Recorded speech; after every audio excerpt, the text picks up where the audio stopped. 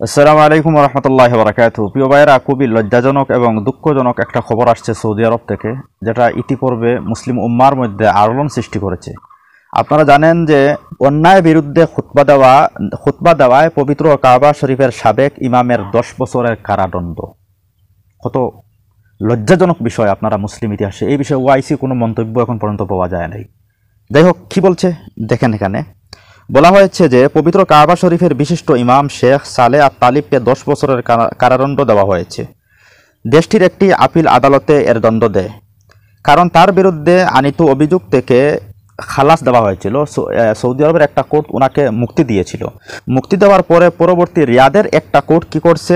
রিয়াদের একটা কোর্ট এই বিষয়ের উপরে নতুন করে আর একটা ফয়সলা দিয়েছে। তার ফৌজদারি আদালত থেকে যেহেতু তাকে মুক্তি দেওয়া হয়েছে সেটাকে বাতিল করে পুনরায় সিদ্ধান্ত অনুযায়ী আহ, উনাকে কি করা হয়েছে? আরও দশ বছরের সাজা দিয়েছে।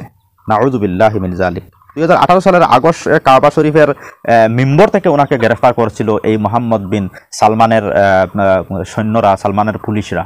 কেন তাকে গ্রেফতার করা হলো? তিনি সিনেমার বিরুদ্ধে অশ্লীলতা বিরুদ্ধে, বেহায়াপনার বিরুদ্ধে এবং এগুলার বিরুদ্ধে তিনি কি করেছিলেন? প্রতিবাদ করেছিলেন। জুমার খুতবার মধ্যে তিনি আমভাবে সাধারণ মানুষকে তিনি সজাগ করেছিলেন, জাগ্রত করেছেন। জাগ্রত করার কারণে কি হয়েছে, তার অপরাধটা কি? অপরাধটা হচ্ছে তিনি সিনেমার বিরুদ্ধে, নাচ গানের বিরুদ্ধে, যেগুলো ইসলামে নিষিদ্ধ, সেগুলোকে নিষিদ্ধ নিষিদ্ধ বলার কারণে তাকে গ্রেফতার করেছে এই মোহাম্মদ বিন সালমান। এই যে যুবরাজ সালমান, যখন সে যুবরাজ হয়েছে, হওয়ার পরে সে কিছু কাজ শুরু করেছে, যেগুলো আধুনিকতার নামে ইসলাম।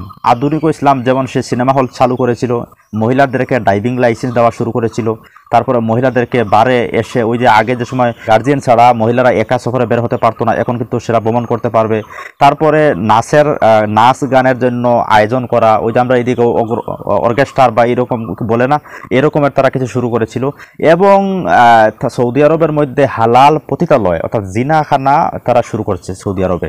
তো, এবং ফিল্ম ফিল্ম সিটি তারা বানিয়েছে, এবং ফিল্ম আগে সৌদি আরবে এগুলো ব্যান্ড ছিল। সৌদি আরব ব্যান্ড না, এটা তো ইসলামের ব্যান্ড ছিল, আর ইসলামের মূল কেন্দ্র হচ্ছে সৌদি আরব, তো সৌদি আরব অবশ্যই এগুলো ব্যান্ড হওয়া উচিত ছিল এবং ব্যান্ড ছিল। কিন্তু এই মোহাম্মদ বিন সালমান যখনই সে ক্ষমতায় আসছে, আসার পরে যখনই এদের এই সবের বিরুদ্ধে যারাই মুখ খুলেছে, শুধু হারাম শরীফের এই ইমাম নয়, যে ইমামকে আপনারা দেখতেছেন, এই ইমাম সাহেব নয়, ইনি ইমাম সহকারে আরও অনেকজন বড় বড় ইসলামিক স্কলার, মুফতি, বড় বড় আলিমদেরকে গ্রেফতার করা হয়েছে। তবে উল্লেখযোগ্য হচ্ছেন যে আমাদের এই ইমাম সাহেব, কারণ ইনি হচ্ছে বাইতুল্লাহর ইমাম, আল্লাহর ঘরের ইমাম। আপনারা জানেন যে তার ফজিলত এবং তার কত মর্যাদা, আল্লাহ আকবার। তিনি একটা খুতবার মধ্যে শুধু এতটুকু বলেছিলেন যে, হো আমাদের জাতি আমরা যে কাজের দিকে অগ্রসর হচ্ছি, এটা খুব লজ্জাজনক, এটা দুঃখজনক, কারণ এটা বলার কারণে কি হয়েছিল? যে তাকে গ্রেফতার করা হয়েছিল। ওনাকে কি করা হয়েছে? কারাদণ্ড দেওয়া হয়েছে অবি দশ বছরের জন্য।